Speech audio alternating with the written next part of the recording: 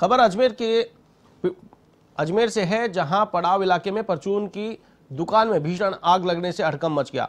आग लगने की सूचना पाकर क्लॉक टावर थाना पुलिस समेत दमकल की गाड़ियाँ मौके पर पहुँची और कड़ी मशक्कत के बाद आग पर काबू पाया गया। लेकिन तब तक दुकान में रखा लाखों रुपए का सामान जलकर खाक हो गया। शुरुआती तौर पर आग लगने का कारण शॉर्ट सर्किट माना जा रहा है। फ़िलहाल पुलिस पूरे मामले की जाँच पड़ताल में जुट गई है।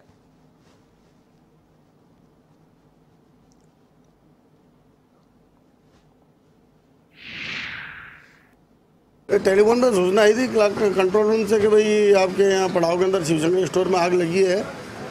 तो मौके पे हम गाड़ियाँ लेकर के आए सूचना मिलते ही।